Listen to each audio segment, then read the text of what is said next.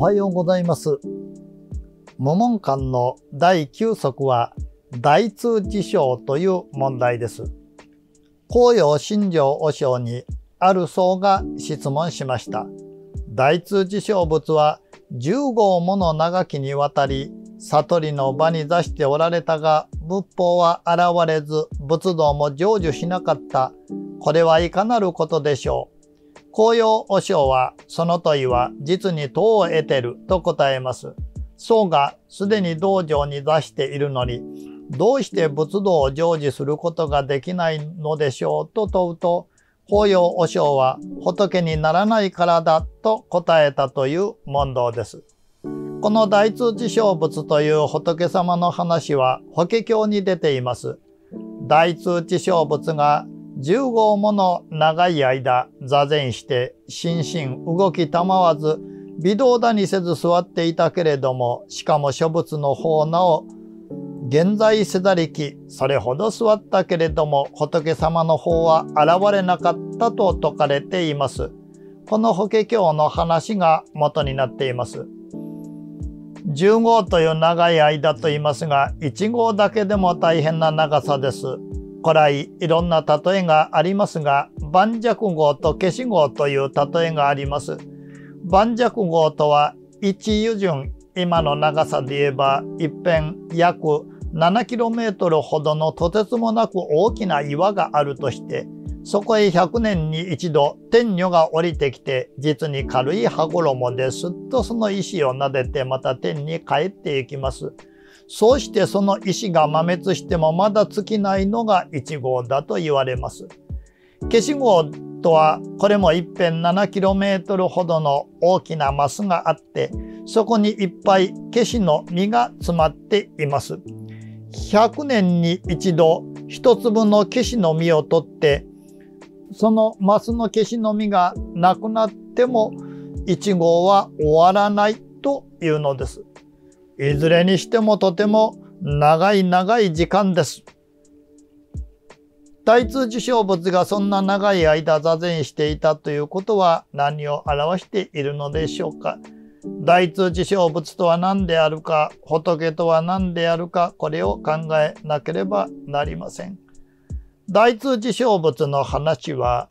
我々の宗祖臨済禅師も語録の中で取り上げています。大通とは親しく自己があらゆる存在はもともと実体もなく形もないものであるといかなる時とところにおいても通底したところをそう言ったのだ。知性とはいかなる境外にあっても迷わずもの一つもないところをそう言ったのだ。仏とは自己の心が症状清らかであり、その光明が実法世界に輝き渡るのをそう言ったのだ。十号もの長い間道場に座禅したというのは十原密を行じたこと。仏法が権限しなかったというのは仏はもともと不詳であり法ももともと不滅であるからにはどうしてその上さらに権限することがあろうか。仏道を成就できなかったというのは元から仏である以上さらに仏になるはずはないからだ。個人も言っている。仏は常に人の世におられてしかも人の世のものに染まらないと。と説かれています。訳文は岩波文庫の臨済録から入谷義孝先生の現代語訳を引用させてもらいました。臨済禅師は仏様とは何であるか実に端的に説かれています。それはここで話を聞いている者、それこそが仏様であるというのです。今ここで話を聞いている者、それは何でしょうか？耳が聞いているのか、脳が聞いているのか、内臓が聞いているのか、どれだと特定できるものではありません。ただ一つ言えることは命あればこそ聞いていることができているのです。命のないものにはいくら耳があろうが脳があろうが聞くことはできません。その命は一体どれほどの長さでありましょうか。50歳の方でしたら私は50何歳ですと答えるかもしれません。しかし命の長さは本当にそれだけでしょうか。この命は決して何十年前に突然ひょこっと生まれたわけではありません。皆から必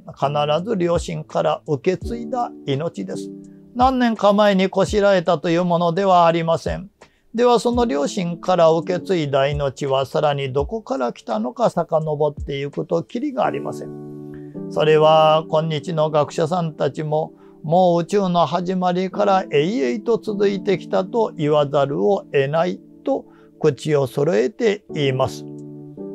その宇宙の始まりを百何十億年というそうです。とてつもなく長い時間を昔の人は業という例えで表したのでしょう。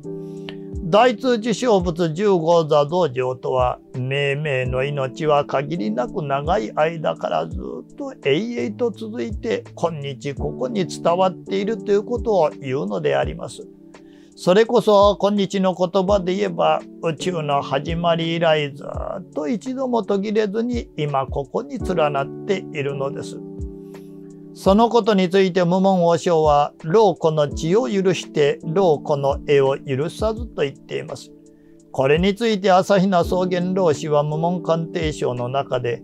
人々本具の仏性は分別や知恵をもってその存在を知ることはできるであろうが老子の血を許してさてその人と法と一のした三枚の境外に至ってはこれが仏法だなどと指摘しうるべきものは何もない老子の絵を許さずとこう見るのが当たって言わしまいかと思うと説かれています。知識として知っているのと深く三昧に行って退任するのとでは違うということであります。さらに無門和尚は凡夫もし知らばすなわち商人、商人もし得せばすなわちこれ凡夫、と説いています。これは悟り終われば未だ悟らざるに同じという境界を表しています。修行して商人となり、また商人から元の凡夫に変えるところに深い意味があるのです。これについても朝日奈老子の提唱には、凡夫もし知らばすなわち商人という語も、仏道を学び修行してこう学んだこう悟ったという右所特定の境外を指し、商人もしえせばすなわちこれ凡夫とは、学び得たところ、悟り得たところありとした境外が、さらに深められ、高められて、諸学も諸語も超え果てた境外を指すと見るべきであろう。いわゆる五両同未語の消息である。右所得の境外には人に超えた首相さがありありがたさがありこれに伴うかすかな高ぶり誇りの念もあるが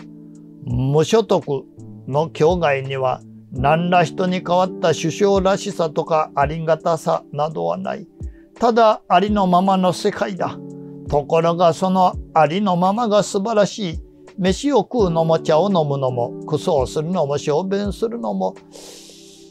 雲の飛び水の流れるのも花が開き葉の落ちるのも全てが仏法の大神通大光明なのだ。しかもそれが自分だけでなく誰も彼もそうなのだ。だから天使は天使でよし百姓は百姓でよし学問のあるもそのまま学問のないもそのままかけず余らずもったいないほどの円満不足だ。このありのままの大不思議に比べればチートやソットの奇跡などものの数ではないと説かれています。大通知小仏の話も法華経ではさらに長い長い修行を経て仏となるのですが禅では本来皆仏であるからこれ以上仏になりようはないという教えになっているのです。仏法というのも特別なものが現れるのではなく、日常の営みすべてにすでに現れているということになっているのであります。それでは姿勢と呼吸とを整えてまいります。まず両方の足で床をしっかりと踏みしめます。この第一に支えられていることを感じて足に力を入れてよし立ち上がるぞという気持ちでお尻を5センチないし10センチをどすと持ち上げていってストンと下ろします。息を吸いながら肩をぎゅーっと持ち上げ持ち上げていって吐くと同時にストンと下ろします。もう一度息を吸いながら肩をぎゅっと持ち上げ持ち上げていって吐くと同時にストーンと下ろします。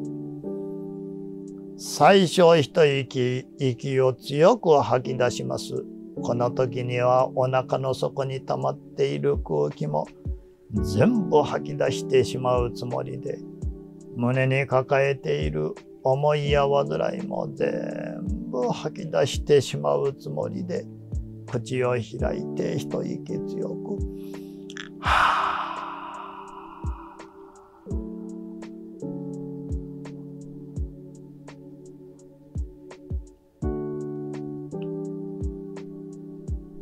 と吐き出して口を閉じますと鼻から新鮮な空気がいっぱい入ってまいります。おへその下下腹いっぱいに新しい空気が満ちてさらに体の隅々まで新しい空気が行き渡っていくのを感じながらああありがたいな嬉しいなとこの思わず微笑みがこぼれてまいります。そんな気持ちでその後は口を閉じてただ鼻から息が出たり入ったたりする様子を静かに見つめて座りましょう。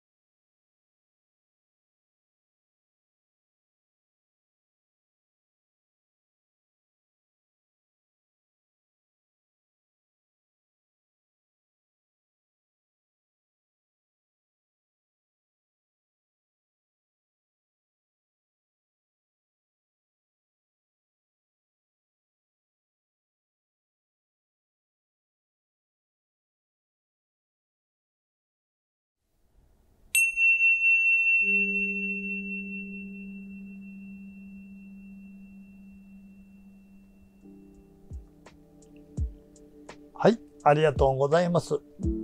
どうぞ今日も良い一日でありますようにお祈りしております。